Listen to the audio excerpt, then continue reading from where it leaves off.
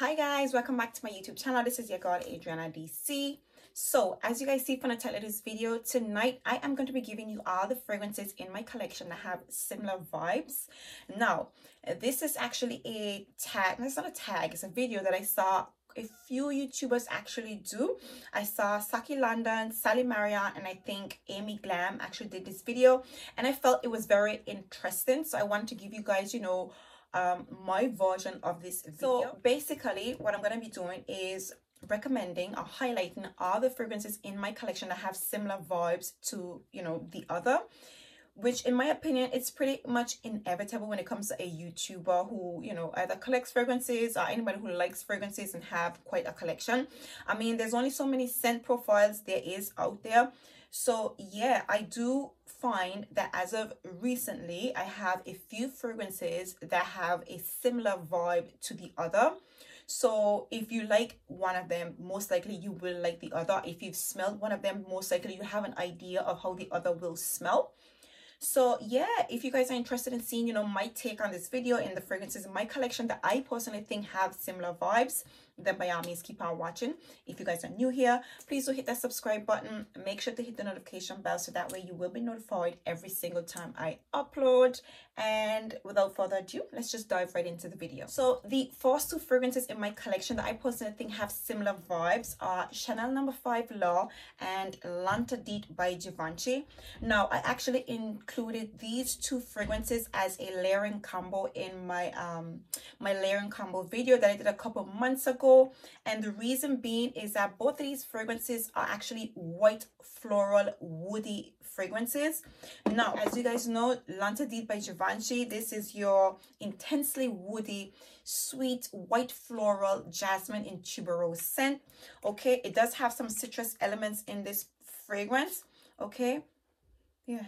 So you get a slice you get slight citrusy elements. You definitely get the bergamot in the top of course and you do get those you know white floral touches. Of course that's what's starring in this perfume the jasmine and the tuberose.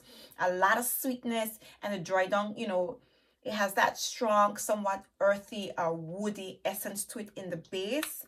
Now chanel L'Eau by i mean no chanel number five L'Eau on the other hand is a more lighter a bit more area and citrusy version of i would say the scent profile of the l'interdit now by no means are these fragrances dupes for each other but they definitely do have similar vibes now i have never heard anybody complain about you know how strongly woody the l'interdit by givenchy is I do think it's quite attractive. It makes the fragrance really be more beautiful.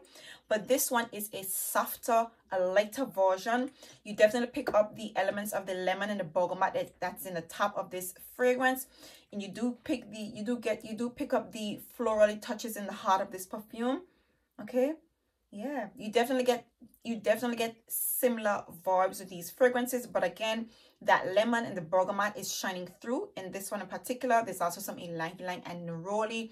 So you don't have the tuberose. So this one is a bit more it is not as dense as the l'interdit it's a bit more sharper a little bit more area but definitely a softer white florally woody fragrance that definitely gives me similar vibes to l'interdit so yeah very sophisticated very classy. The dry down for the chanel number five L'Eau it goes slightly bit more woody as it begins to dry down. But what you get is the essence of you know those woody touches in this perfume. It is not as prominent as in the l'interdit givenchy well it varies because i have heard some people say that you know the woody touches in this perfume is a bit more prominent for them. But for me the, there's just a woody aura to this one in particular but definitely you know, these two fragrances have similar scent profiles and they're both absolutely beautiful, white, florally, woody fragrances that happen to be extremely classy and very much beautiful. So this is Chanel number five, L'Eau and L'Interdit by Givenchy. So the next two fragrances in my collection that definitely give me similar vibes are Narciso Rouge and Roberto Cavalli um, Paradiso Azzurro. Now, I recently acquired the Paradiso Azzurro and as I sprayed it, um, okay i didn't really get similar vibes in the opening but in the dry down. So after playing with this perfume for a couple days i realized that this fragrance definitely reminds me of something you know that i already have in my collection.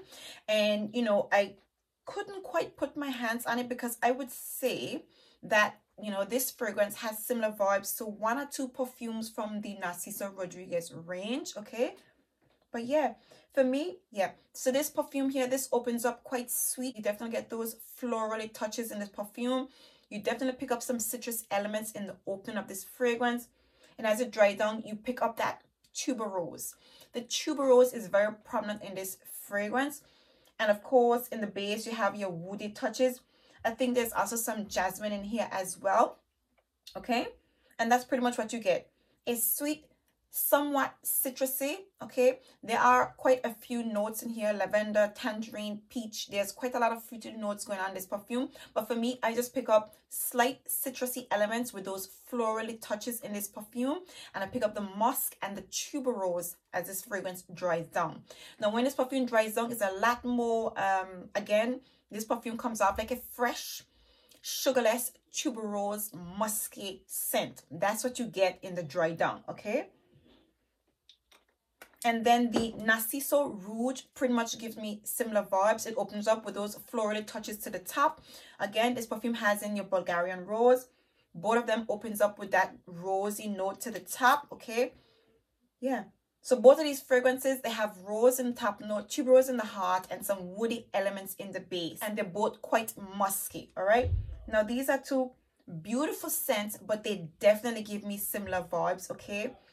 I don't even know where these, okay, they are not dupes for each other.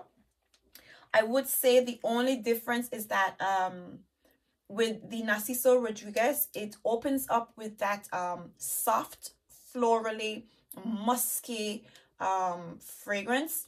It has a bit of sweetness and it starts off that way and it ends off that way. With this one, this one opens up a little bit more sweeter because of the fruity. Yeah, a little bit more sweeter and I think there's some ylang in the heart. There's also, you know, there's a lot more going on, cypress and stuff like that. But what really stands out is those floral touches in the top, you know, those citrusy elements, or should I say those fruity citrusy elements in the opening. And of course, the tuberose is standing out a whole lot in this perfume. And it's dry down, you do get those musky elements. For me, these two fragrances definitely give me such similar vibes. There is like, I would say it's just the musk because of how outstanding the musk and the powdery elements is the only thing that kind of gives you a different feel.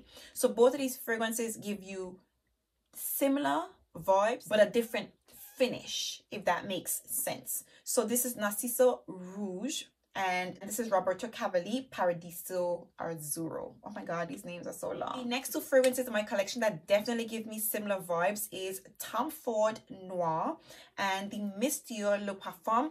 And I think I highlighted that to you guys, you know, when I hauled the Tom Ford fragrance. Now, for me, when I smell this fragrance here, this, here, this is a sweet, warm, ambery, spicy smelling perfume. There is, um, I think there's some rose and vanilla in this perfume as well. But overall, you definitely get that, the spiciness in this fragrance. And I think there's some orange, some bitter orange in the opening. Okay. So for me, what I pick up most is the bitter orange from the ginger in this perfume. And of course, the amber. The amber is very prominent. Quite spicy but the amber is definitely hitting you. There it's definitely hitting you and the spices in it kind of like um accentuate the amber in my opinion okay? Now when it comes to the Miss Le Parfum for me okay all right these perfumes more or less open up very similar okay very very similar. So this one does not have bitter orange but it does have that mandarin essence in the opening. It also has the rose. There are some spices in this perfume. I can't remember what spices exactly is in this perfume but this is a warm spicy rose and amber smelling perfume. Now these two fragrances are absolutely similar. Like when i mean similar. The only thing that sets it apart for me is that oh, I'm afraid to put this on me. This is such a strong perfume, right? Literally afraid to throw it on maybe this time of the night because I'm filming in the night. But yeah, only thing that sets these two fragrances apart is that extra spiciness that's in this particular perfume. The bitter orange in the opening combined with the ginger just give this perfume a tiny hint more of spices but the rose is more prominent in this one. Now both of these fragrances have in rose but the rose is, is shining a lot more in this fragrance. But overall the body of this fragrance of these two fragrances the opening of these two perfumes is exactly the same. The dry down is more or less the same. Now i'm not gonna call them dupes of each other but they are more or less 95% if not 98% completely similar okay? I would say that despite tom ford known to have quite a kick this is a softer fragrance in comparison to this one.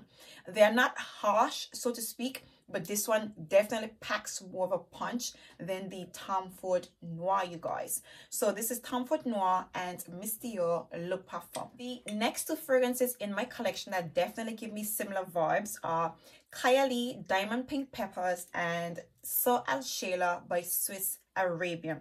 Now, both of these fragrances, of course, have that Middle Eastern vibe, but the scent profile of these two perfumes is pretty much the same. Now, I do know that the Kayali Elixir is um, a lot more closer in scent when it comes to Ashela, but both these fragrances do have similarities as well. Now, they both have in rose, they both have in those spicy elements, okay? They also have in amber, vanilla, and patchouli in the base of these perfumes. The only thing that sets these fragrances apart is that this one, of course, is a bit more sweeter. That's about it. This one is a bit more sweeter, and this one is a bit more powdery, and a bit, a little bit more, um, I would say the oud in this one gives it a different vibe, a slight different vibe. However, people do say that this fragrance does give them oud vibes. I I am inclined to agree with that. You do get slight oudy presence in this fragrance for me i think i think it's a combination of the saffron i think there's the pink peppers and the bergamot that's giving off the same effect as the oud is giving off in this particular perfume.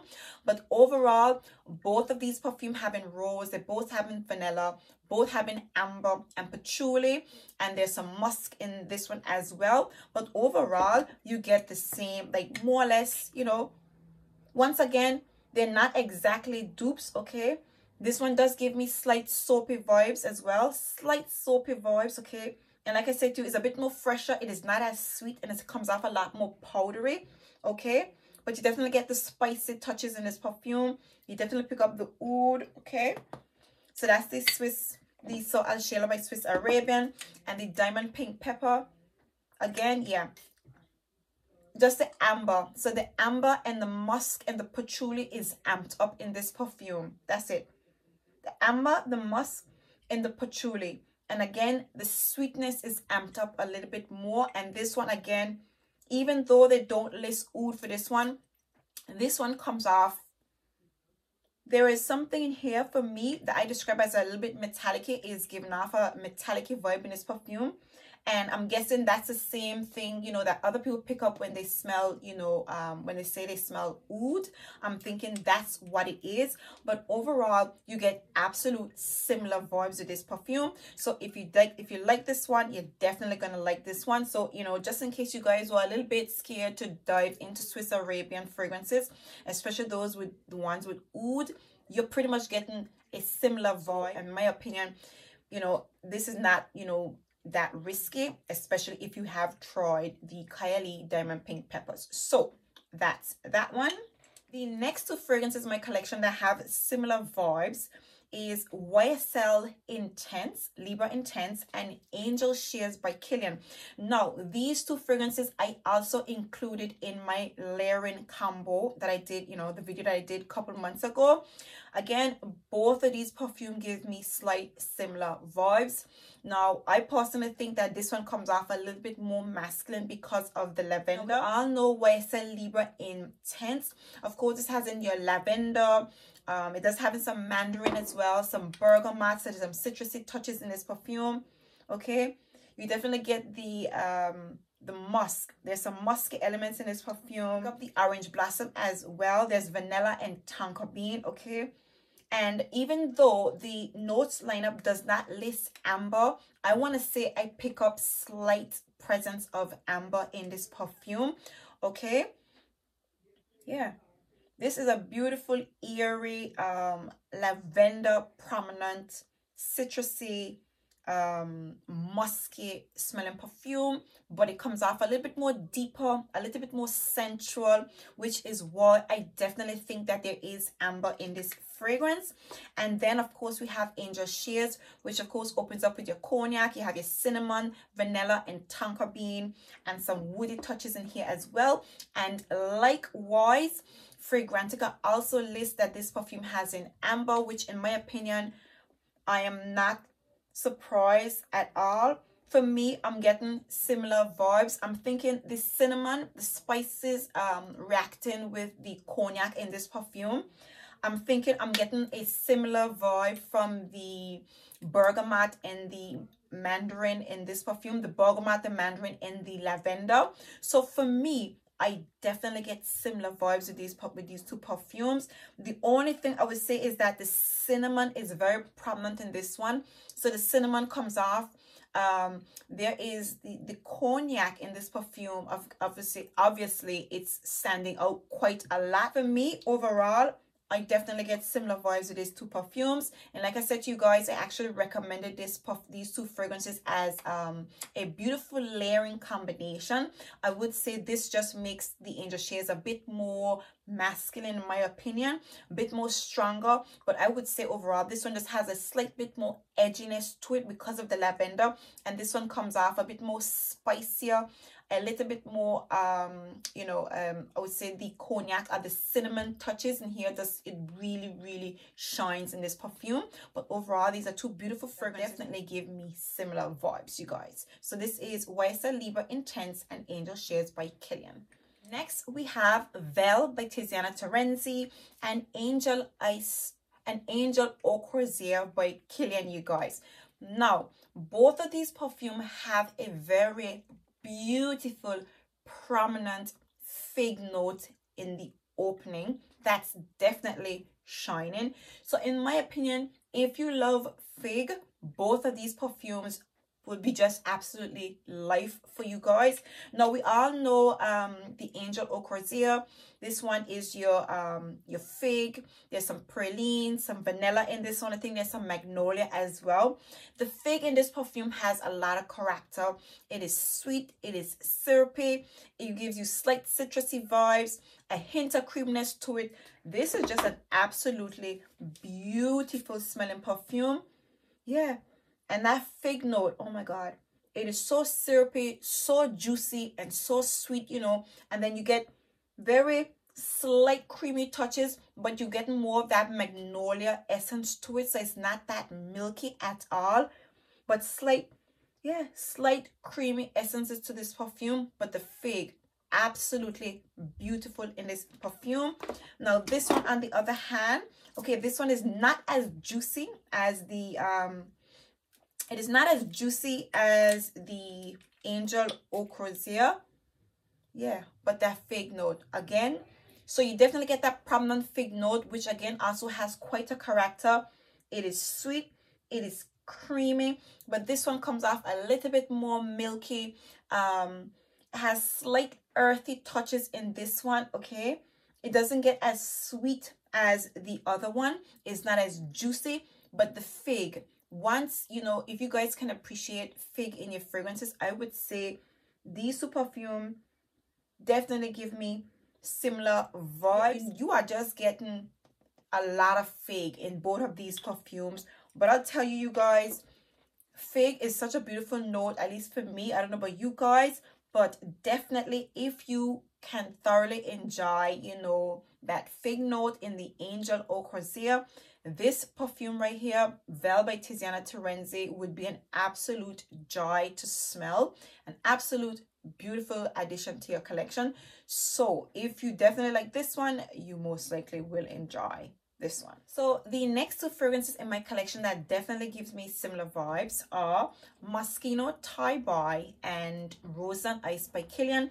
Now, if you guys saw, you know, when I had this fragrance, I definitely highlighted to you guys that for me, this fragrance more actually gives you, you know what, comes to mind when you think about roses and ice okay so toy boy by moschino this is your spicy woody rose um somewhat leathery smelling perfume. But overall what you do get from this fragrance is a yeah a somewhat sweet juicy spicy rose woody smelling perfume.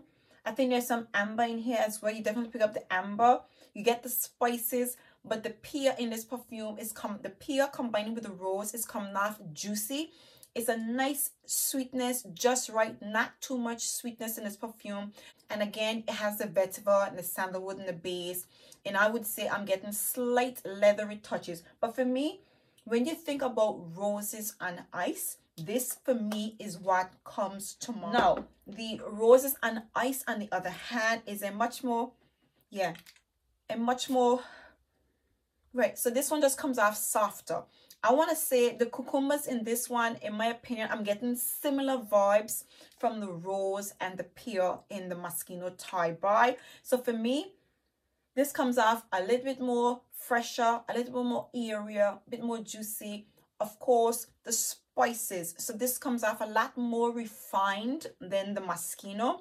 Is a lot more refined a bit more fresher. For me this is a stronger more heavier somewhat woody version of roses and ice. Both of these perfumes smell just alike i would say and if you can appreciate Rose and Ice, you can definitely appreciate Moschino Toy Boy and of course Vice Versa. So this is Rose and Ice by Kilian and Toy Boy by Moschino. And last but by no means least, we have Kayali Utopia and of course Holidays by Mancera.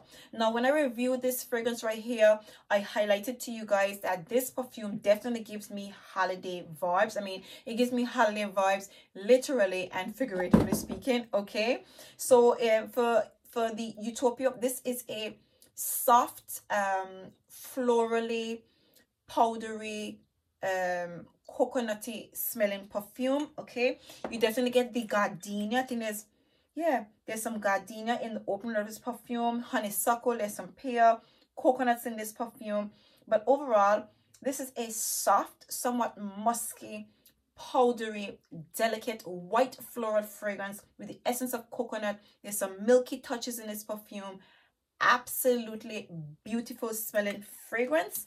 Now, the Holidays by Mancera. Again, this gives me, yeah, tropical, florally, coconutty, musky vibes, okay? The musk in here is not that prominent. I would say it's quite smooth I definitely think there are slight woody elements in the base of Holidays as well. But for me, I think there's some ylang ylang in here. You pick up, you know, the ylang ylang, that tropical essence from the florals in this one in particular. It is not as soft and delicate as the um, the white florals in the Utopia, but you definitely get the slight florally touches in here. I want to say the coconut in here is a lot more dense it is dense and somewhat syrupy and sweet, but not as milky as the Utopia because I think the Utopia has in coconut milk. So it comes off a little bit more coconutty. But in my opinion, these two fragrances definitely give you similar vibes. Absolutely similar scent profiles. I want to say you get more or less a similar, if not the same scent, but a different finish okay? So this one this is fluffy it is powdery it is florally it is a milky very delicate and pretty scent.